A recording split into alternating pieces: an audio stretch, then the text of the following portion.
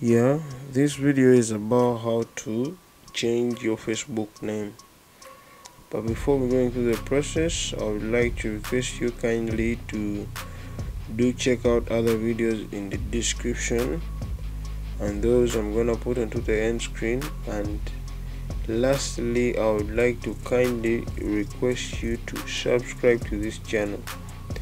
Yeah so this video is about how to change your facebook name as i told you before when you get onto the home page tap the three lines icon as you as you've seen over there. Then scroll down tap settings and privacy. Then tap settings. Here then tap personal and account information. Yeah there you go.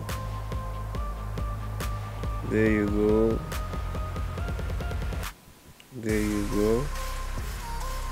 Once you do that you know it's still loading yeah? Then tap where you see name so over here. We are going to try to change the first name only. So we clear out that name over there.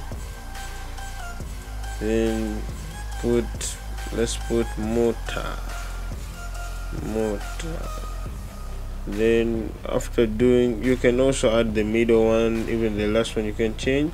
Then tap review change. Yeah. Over here uh, you can do check which how how you may want your name to appear.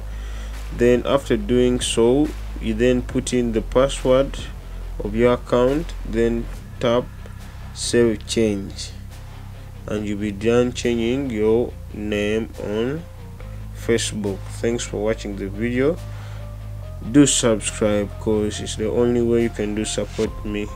Yeah